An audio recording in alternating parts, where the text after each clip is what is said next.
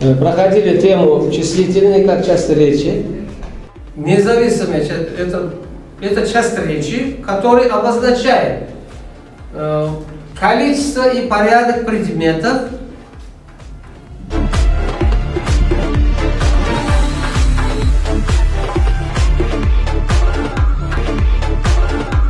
Вот сегодня мы проходили тему числительные, да? Кто мне расскажет правила числительного, которые вы изучали? Кто?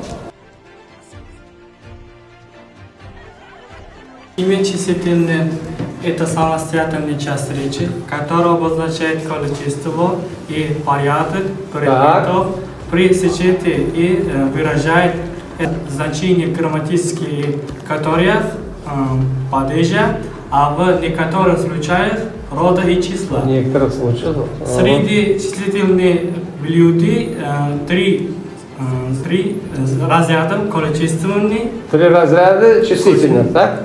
количественный порядок и Количественный, дробный. поряд... порядковый, еще? И Третий? дробный. Дробный. Дробные числительные. Хорошо. Является месяц осень. Октябрь уже заканчивается. Про осень кто-нибудь стихотворение знает? Автор Пушкин.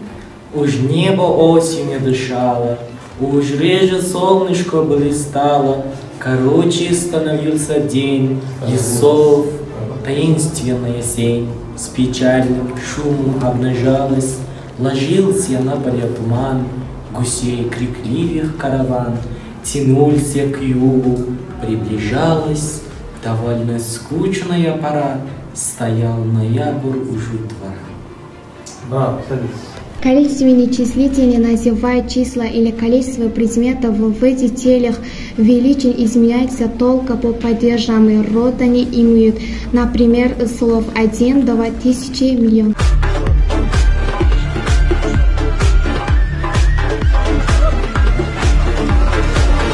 Только что мы с вами э, проходили тему числительные как часть речи. Значит, числительные это самостоятельная часть речи. То, что обозначает, мы это уже знаем. На какой вопрос отвечаем? Отвечать, мы это уже знаем. Значит, какие разряды мы с вами проходили. Я объяснил вам, вот некоторые э, отвечали на вопросы, это хорошо.